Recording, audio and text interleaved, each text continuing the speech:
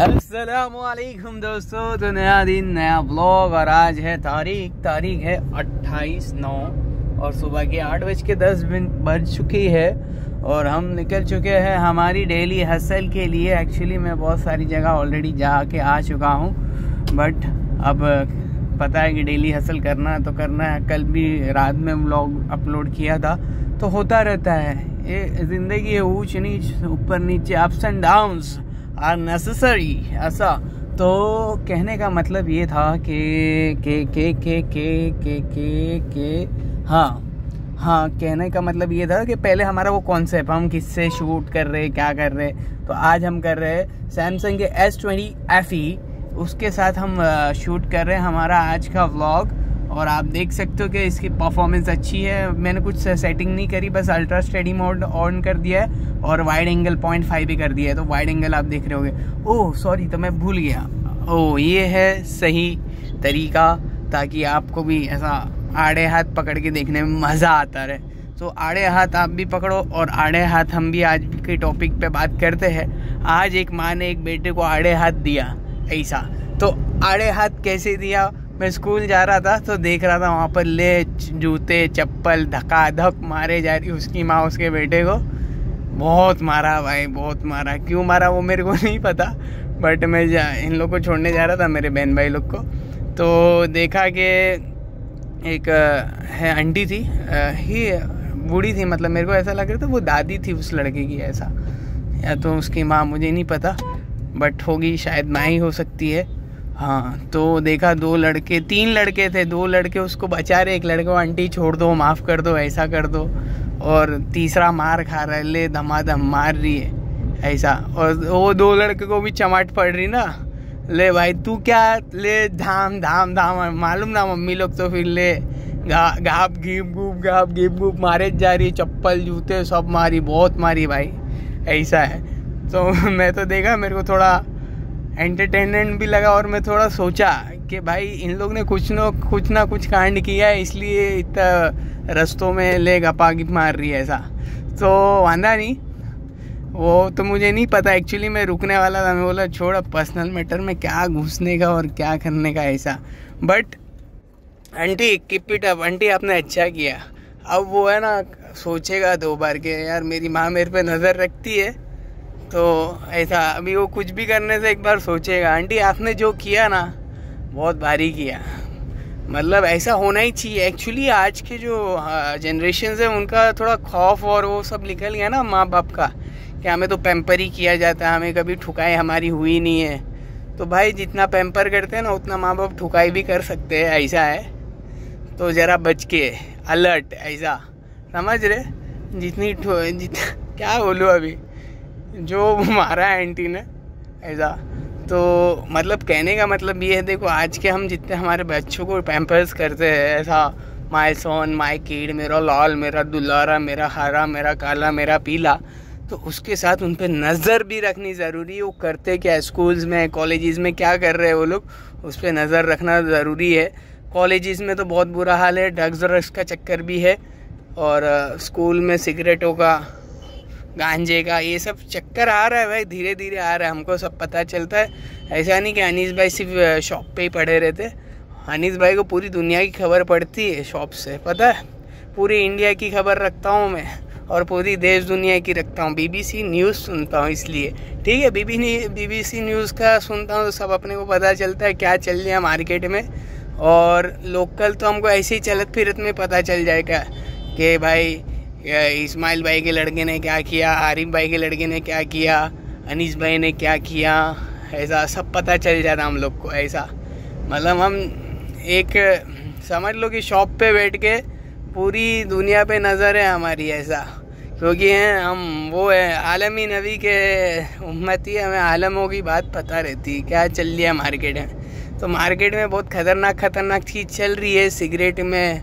Cigarette के वो बना के गांजे। ये बोले, अनित भाई, ये तो पुरानी बात कर रहे तो पुरानी तो भाई, पुरानी किसके लिए है? कि वो जब था, वो 25 से लेके 40 50 वाले गांजे फूकते थे। अब क्या है कि लेटेस्ट 15 साल वाले भी फूक रहे हैं ऐसा।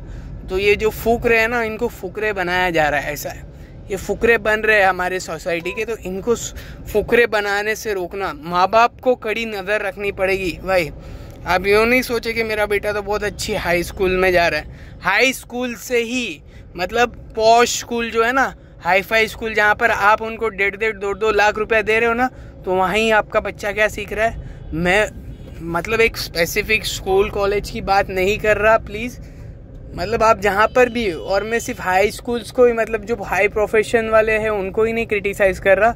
मैं क्रिटिसाइज़ कर रहा हूँ सारे स्कूल वालों को और माँ बाप को देखना चाहिए कि हो क्या रहा है, ऐसा। चल क्या रहा है? मार्केट में बहुत खतरनाक खतरनाक चीज़ें चल रही है, ऐसा। समझे आप मेरी बात? तो बात को समझो, बात को दिल पे लो ज़रा, ऐसा है। तो बहुत सारी चीज़ें हो रही है मार्केट में। चरस, गांजा, अफीम, सिगरेट्स ड्रग्स बियर दारू, शराब, ये सब चल रहा है। आपके स्कूल्स में जहाँ पर आप सोच रहे कि हमारे बच्चे जाके पढ़ लिख के हमारा कुछ भला करेंगे आखिरी ज़माने में जब हम बुढ़े हो जाएँगे तो तो भाई ऐसा बहुत ही रेयर केस हो रहा है और सब जगह मेरिट्स और डीमेरिट्स होता है। ऐसा नहीं, कहीं कहीं टॉपर्स भी है, कहीं अच्छे पढ़ने वाले भी है बट कहीं कहीं आपके बच्चे बिगड़ भी रहे ऐसा है। तो उनके ऊपर नज़र रखना, उनको स्कूल्स में क्या पढ़ाया जा रहा है और उनके साथ क्या व्यवहार किया जा रहा है टीचरों के साथ और उनको क्या सिखाया जा रहा है? उनकी हिस्ट्री की किताब में क्या लिखा हुआ है? उनके जियोग्राफी की किताब में क्या लिखा हुआ है? उनकी किताब को ज़रा रेफ़र करें। कहीं पता नहीं कि कहीं कुछ गड़बड़ी तो नहीं है, कहीं कुछ गलत तालीम तो नहीं दी जा रही है। कहीं क्या है, क्या नहीं है, वो ज़रा हम रेफ़र करें। क्या लिखा है किताबों में, हम रेफ़र करें। मैं ऐसा किसी को कोई ब्लेम नहीं डाल रहा। सब कुछ सही है but as a caretaker as a वाली मतलब उनके जो पेरेंट्स हैं, हम तो हमारी ज़िम्मेदारी कि हमारे बच्चे स्कूल्स में कॉलेजेस में ट्यूशन्स में क्या कर रहे हैं और उन पर थोड़ी सी देख रहे ज़्यादा भी नहीं, ज़्यादा भी तुम टॉर्चर करेंगे ना तो बोलेगा मेरा बाप तो साला यार बोले दिन रात मेरे पे शक करता रहता है। ऐसा हमारे हमारे टाइम पे एक भाई हुआ करता था, बोले, अनिस यार, मेरे बाप ने तो यार बोले मेरे रूम में कैमरा लगा दिया, मेरी हर एक हरकतों पे नज़र रखता है वो ऐसा। हमको ऐसा बोलता था तो भाई ऐसे भी जल्लाद ना बनो, हन, बापू सेहत के लिए हानिकारक नहीं बनो, तुम सेहत के लिए ज़रा उनकी सेहतों को इजाफा बनाओ, अपने बच्चे लोग के लिए ज़रा उनकी देखभाल करो और देखो कि क्या चल क्या रहा है। मार्केट में चल क्या रहा है ऐसा। बहुत ही ज़माना अच्छा है, बुरा है, दोनों है।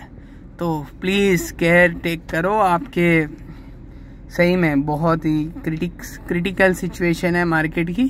तो क्रिटिकल सिचुएशंस को देखते हुए देखो देखो देखो। ऐसा ना हो कि हमारा बच्चा कहीं गलत सोबत में पढ़ के कहीं उसकी ज़िंदगी को उजाड़ ना ले और कहीं हम मुसीबत में ना आ जाए। तो बस यही कहना था। और आंटी सलाम है आपको, आपने, आपके बच्चे को बीच रोड पे ठोका। अब वो कभी है ना, दूसरों के गलत सोबत में आने से ज़रा डरेगा, ऐसा है। अभी भी उसको उसको दोस्त मेन असल क्या दोस्त थी देखो, जैसी संगत होता है, आदमी आदमी ऐसी वैसा बनता है। अगर संगत अच्छी होगी तो अच्छा बनेगा, अगर संगत बुरी होगी तो बुरा बनेगा। ज़िंदगी में दोस्त होना बहुत ही इम्पोर्टेंट है बट दोस्त अच्छे बनाओ, सोच समझ के बनाओ। आज के दोस्त बड़े हैं ना, वो है, थोड़े, क्या बोलूँ अभी? कमीने टाइप के होते हैं, ज़रा देख के, सोच समझ के दोस्ती करो। और अब मार्स पेरेंट्स से भी बोलता हूँ कि इनके दोस्त के वेरिफिकेशन करो, इनके क्या करते हैं, उसके दोस्त, उनके माँ बाप क्या करते हैं। प्लीज़ वेरीफाई करो, ऐसा है। और अगर आपके बेटे के दोस्त मेरी तरह बुरे हैं तो आपके बेटे को बोलो कि तू अच्छे, उनको अच्छी बात कर, अच्छी बातें उनको सिखा, है ना? तो उनको भी तो कोई सिखाने वाला चाहिए ना। अरे वो बुरे हैं ना तो हम ही अच्छे बन के उनको सिखाएँ, पर हम ही बुरे ना बन जाए, समझ रहे? तो यही बात खत्म करता हूँ मैं, लंबा व्लॉग नहीं बनाना चाहता, यही बात खत्म करता और अगर आपको मेरी बातें अच्छी लगी है तो वीडियो को शेयर कर दीजिए, क्योंकि शेयर करना भी नेकी है, सवाब है पुण्य का काम है, और बुरी बातों से रोकना भी नेकी है, सवाब है, और पुण्य का काम है। और वीडियो को लाइक कर दीजिए चैनल को सब्सक्राइब करना ना भूलिए। असलकम वरहमल